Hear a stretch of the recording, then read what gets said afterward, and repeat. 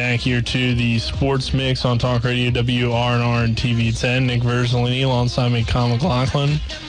We're now joined by uh, the former Jefferson boys basketball head coach Richard Lewis, who will be leaving Jefferson for St. James. Coach Lewis, how are you today? How you guys doing today?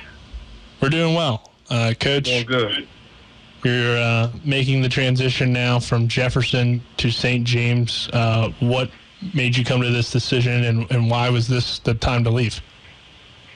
Um, it, it was opportunity that came up. Um, you know, just looking at kind of like the tenure at Jefferson. Um, I've been there uh, 13 years overall, 12 on varsity, and uh, one on JV for one year. I've been in the county, um, actually at Jefferson County for 23 years. Um, at some capacity, uh, middle school, um, before high school.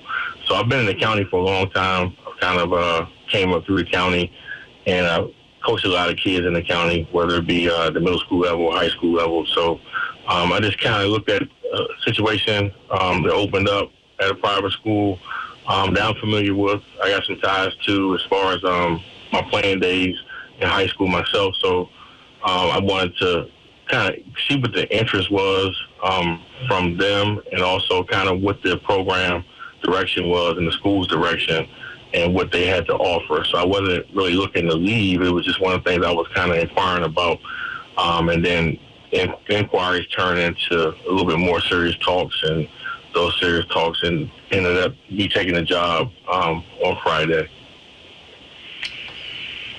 Coach, first off, congratulations on uh, your next job at St. James. Best of luck. Uh, just want to go back to, I guess, the decision process when you were learning about this uh, offer. Who were some people maybe that you talked to and thoughts about pursuing this job at St. James? And then a little bit later on down the road, uh, what was the conversations like with your assistants at Jefferson and then uh, players at Jefferson as well?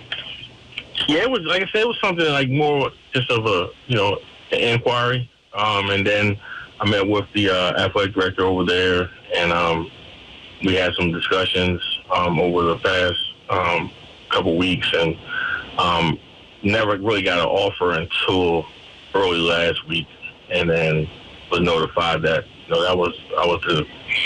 I think, said they had 23 applicants, and um, I think they interviewed like 10. So he just said, you know, they offered me the position, and I had, you know, pretty much like four or five days to kind of come to a conclusion if I wanted to leave Jefferson or not. So it was one things that happened kind of quickly. Um, it wasn't it wasn't a long process. It was a quick process, and uh, you know, came to that decision um, on Friday, um, and I, you know, in, informed uh, my athletic director Dave Vines and um, my assistants um, on Friday that I was leaving, and then talked to the players on Monday. Um, and it's summertime, so we had a handful of players um, there, but um, we had, you know, kind of, we just kind of finished our three week window. We went to Philadelphia, went to Virginia, um, played UMBC team camp. So we had some things going, um, and we had just finished, and we had the dead week last week, so you couldn't meet with anybody for a whole week. Um, so we just kind of reconvened on Monday um, as planned. So we just kept things going um, and kind of talk to some of the players there and let them know my decision. And uh, like I said, a lot, a lot of thought into it. Um, I know you probably read some things um, um, over maybe over the internet, but it was a lot of thought put into it. And you know, it's it's kind of hard to leave. You know, Jefferson. I'm like the longest tenured coach there.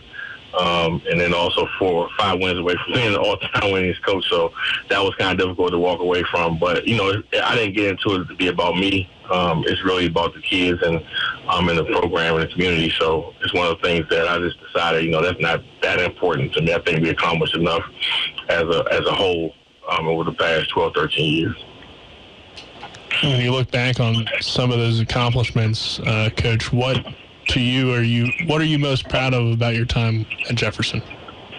Um, I'm, I'm just thankful, like you know, just the community. Um, Coach Starkey, who gave me the opportunity, uh, I've known him since my Shepherd days. Yeah, I didn't play for him, but I've known Coach Starkey um, just through through uh, pass bys, and he called me over um, when I was at Wildwood um, across the street and I was at Charles Town before that. So he just said, you know, you want to come over and get the job. I'm retiring next year, and and you can get the job if you come over this year, probably. So it was one of the things where I just kind of came over, be be an assistant for a year, and got a job. And, and you know, just kind of looking back at that um, process, um, it was it was something that you know somebody believed in me and believed I could turn the program um, into a winner and help with help of everybody around me, um, assistant coaches, community, administration staff, uh, players, the most important part of it. Um, so I, am I'm just proud of like where Jefferson um, is at right now, um, and how attractive the job will be uh, for the next person. And the biggest thing is, and we talked about it, you know, all the time that we wanted Jefferson to be, you know, on the map as a basketball school in the state of West Virginia and being one of the top five teams in the state. So I think that's been accomplished the last, you know, four or five years. And um, throughout the tenure, we've we've, we've uh, been ranked in the top ten, you know, multiple times now. So I think that's what the, the vision was from the beginning, and I think that's been accomplished, and that's that's the proudest thing um, where the program is today and how established it is when you say Jefferson basketball. Coach Lewis, you were Jefferson as the head coach for 13 years. As you said, you leave as the second most winningest coach in uh, school history, which I saw two separate numbers on how many wins you were at, but that's neither here or there. You also are the only coach to win a state tournament game while at Jefferson. So clearly a big legacy that you will be leaving behind to move on to St. James. And as you mentioned, whoever picks it up will hopefully pick it up in a great place and continue to take it to even greater places. To be able to do that, though, in your mind, what are some things that they're going to have to accomplish? I'll just be resilient.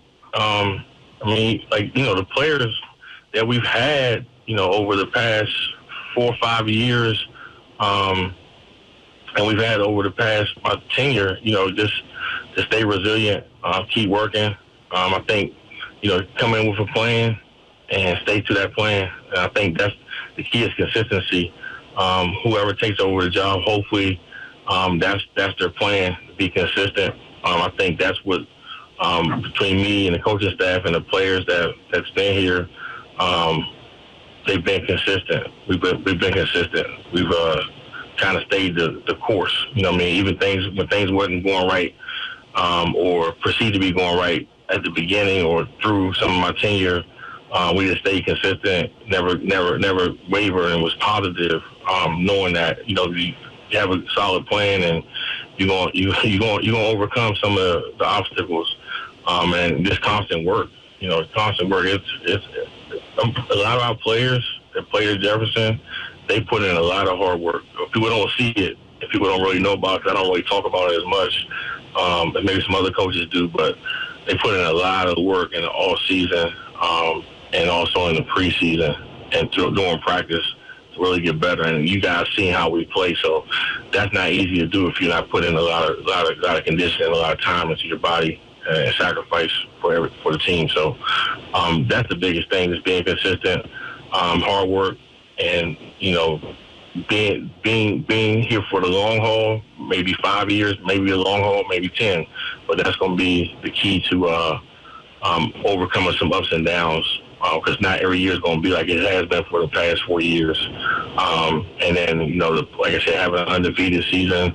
Um, up into the state tournament, first ever. That's that's something that nobody ever thought would happen. So you just got to be lucky as well. Coach, you head to St. James, a program that has struggled the last few years. Uh, when you look at the winning records, um, haven't had a winning record since 2017, 2018. Um, so this is a new challenge for you. Like you said, you're leaving a Jefferson program that's become one of the best in the state. How do you get St. James uh, back to where they once were, and uh, what are some things that you hope to uh, bring there? Um, I guess the, the biggest thing like I said, consistency. Um, try to bring some consistency there. Um, um, go about the business the same way, um, whether it be on, you know, through on the basketball end or off the court um, or out, out of season. Just coming in with a solid plan on how we're going to go about business and work. You know, um, the wins and losses will take care of itself. I think that's how I kind of always looked at it. Um, but the message and everything has to be the same. So that's kind of where I want to I want to come in and establish that you know we'll we'll eventually get to a winning place. I'm not sure if it'll be year one or year two or three or four, but um, my my plan is to come in and build a program. Um, whether it's having a freshman program and a JV and a varsity, my plan is to come in and try to build all three levels, um, starting with the eighth grade through 12th grade. Um, that's one thing we're fortunate to have. Um, eighth grade starts in high school over there, so you can have eighth graders play JV or freshman. So starting that program and trying to really, you know, get those numbers to the point where um, we can start establishing, you know, a program. You know, I mean, that's kind of where I want to start. Um, and then also, like, I know we haven't had a winning record since 2017, but not really look at wins and losses, but just kind of look at well, are we competitive and are we we, challenge, we challenging teams every night. So that's kind of going to be my my vision, and um, being able to recruit is going to be something different. So that's something that you're able to do um, there um, without having any kind of penalties or anything. So that makes it a lot a lot more challenging as well. Um, seeing where you can go with that and what what type of families you can attract. Well, it's been a high academic school. I'm trying to get um, those families to believe in not just the program basketball, but the school um, as well. Try to achieve, you know, something greater for themselves. But um, that's gonna be that's gonna be something interesting um, as well as being able to recruit and um, bring in some families and, and players that uh, that can really play and really help the community in the program. So I think that's where I think you can we can make a big big big difference in transition. Coach, you mentioned that recruiting being a, a new aspect of this job, and it kind of leads into my next question. Um, with the transfer rule that was approved in the state of West Virginia, you know, obviously recruiting wasn't allowed, but there was probably some things going on behind the scenes or whatever the case may be. And uh, it did kind of bring a new challenge to the coaches because they didn't know when players would leave. Um, I guess just how much of an impact maybe does that have on your decision here as well, that knowing that you'll have control over the program and, and know what players are going to be uh, there year in and year out? Well, people still want to transfer, so um, you won't really have control over that per se. But you know, it didn't really have much to do with my decision um, to leave Jefferson or or or go to St. James, um, the transfer part, because that's it's a part of sports as a culture now, whether it be from college all the way down. So it kind of it's kind of like the new thing. The new cool thing to do is transfer. You know what I'm saying? So that's kind of um, going to be a part of sports and part of the culture. So you you you kind of look for that every year now um, in high school. So I think uh, that didn't really have anything to do with my decision. But um, overall, West Virginia, you know, it's an adjustment for everybody. You're going to, you know, even me. Um, might have some transfers here or there. I'm not really looking to get a whole bunch of transfers. I, I kind of want to build it from the ground up. But I think um, that's going to be a part of the culture um, over there as well as here as for the next, you know, foreseeable future. All right, Coach Lewis, before we let you go, what's your final message that you want to give out to the uh, Jefferson High community? I just want to thank um, the administration, um, this group, and Mr. Vines, and all my past ads. Um, I had, I actually had, uh, I, I, counted, I had five principals and four athletic directors there. So I want to thank all of them for working with me, um, working with our program, helping support us. Also, the, the families um, in the community that uh, us in the businesses as well. I want to thank them because without them, it wouldn't have been possible um, for us to travel and do some things over the years. And then lastly, the players, um, all the players I've coached at Jefferson, um, we've had some great players um, over the years, and we've had some hardworking players as well. And players are going to college, so I wanted to thank them for all their hard work and uh, making uh, Jefferson basketball, uh, like I said, one of the top um, basketball schools in the state and putting Jefferson on the map. And lastly, just working um, hard for me and the coaches. And I want to thank all the coaches and assistants I had over the past 12 years as well um, for all their hard work. I'm um, leaving, you know, leaving, like I said, leaving Jefferson um, in some good hands, and I think uh, Jefferson will be in a better place as far as uh, the next head coach that goes uh, goes in there. I think they'll continue the, the winning ways at Jefferson. I think it's not going to it's not going to be a, a drop off. It's just going to be um, a consistent um, program from here on out. So I think uh, I'm really proud of everybody that chipped in, and I'm really proud of uh, the work that I've been a part of over the past 12 years. So just want to say thanks to everybody, and want to thank you guys too for covering uh, covering us religiously over the last four or five years and having a lot of good things to say about um, Jefferson and me as a whole. So I want to thank you guys, um, and also um, you're welcome to come to St. James whenever you want. Thank you, Coach. Thank you, and uh, best of luck at St. James. I'm sure we'll see you guys have a, a few Berkeley County teams or Jefferson County teams on the schedule next year. Yep, definitely. Plan on doing that in the future. I appreciate it, guys. Thanks a lot. Coach Richard Lewis leaves Jefferson for St. James, and we wish him the best of luck. This is the Sports Mix on Talk Radio WRNR and TV 10.